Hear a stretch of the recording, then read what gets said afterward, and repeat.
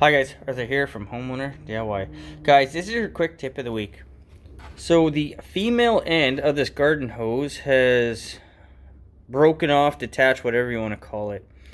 So this was a medium duty hose. It wasn't the cheapest thing on the shelf, so I'm surprised this happened so quickly. The rubber gasket is still here on the inside. That's the first thing I checked.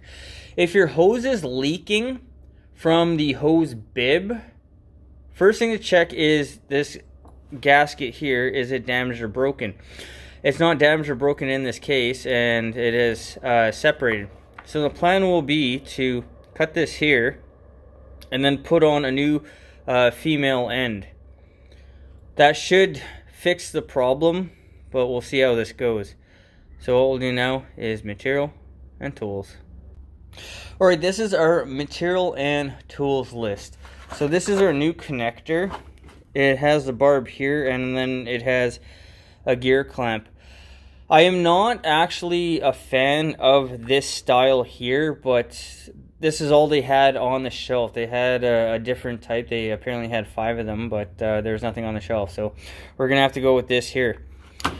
We have a knife to cut our hose, and then we have a quick pick screwdriver to tighten our gear clamp. So guys, with this in mind, let's get started.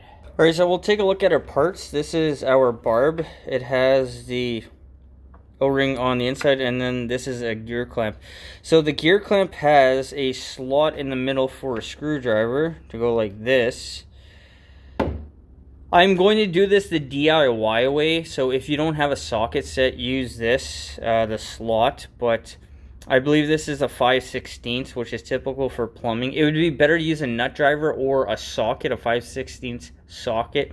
But if you don't have either of these tools, then just use the screwdriver. So the idea here is we'll cut this off, we'll slide this inside, and then we're going to clamp this on, and that should technically give us a watertight seal. All right, the first thing we're going to do is we're going to cut our hose. So the hose flares out here, so just go a little bit lower. Make sure that you have also a good blade because uh, a dull blade will give you a really bad cut. So that is our hose end. Slide the gear clamp over it first so this is a 5 8 Make sure that if you have a 5 8 hose, which this is, uh, buy 5 8 If you have a half inch hose, I believe for a garden hose, 5 8 is typical. But anyways, we're going to slide this into our hose. Alright, so I've, I've uh, slide the barb on all the way to the bottom here. So for our gear clamp, all we're going to do is tighten it on.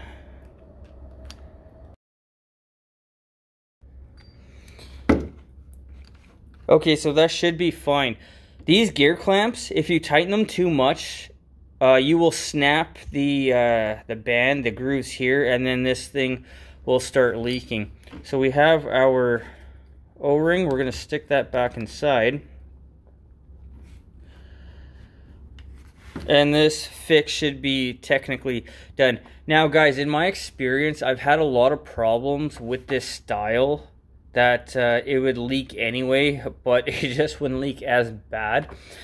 This hose is $60. This thing cost me $7, so it's worth a try. Like I said, this wasn't my first choice for a repair, but this is what they had, so this is what I went with. So what I'll do now is I'll go attach the hose and we'll see how watertight this is.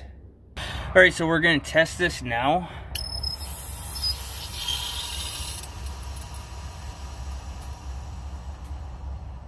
And it's actually holding, which uh, I'm somewhat surprised with. But guys, to change out uh, an end of a hose, cut it off. In this particular design, slide the end on, put the gear clamp on.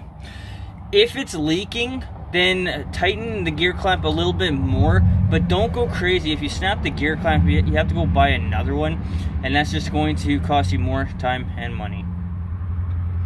Guys, a $60 hose has been fixed for $7 and for the moment it's not leaking. Guys, that is your quick tip of the week.